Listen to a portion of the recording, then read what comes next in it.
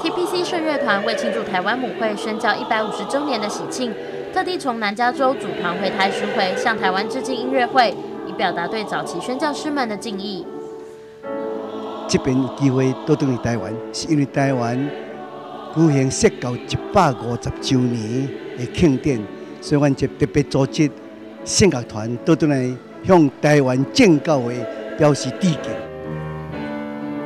八角塔男生合唱团也受邀一起联合演出，让会友们一同领受上帝的恩典，一起在悠扬乐声中感受主爱。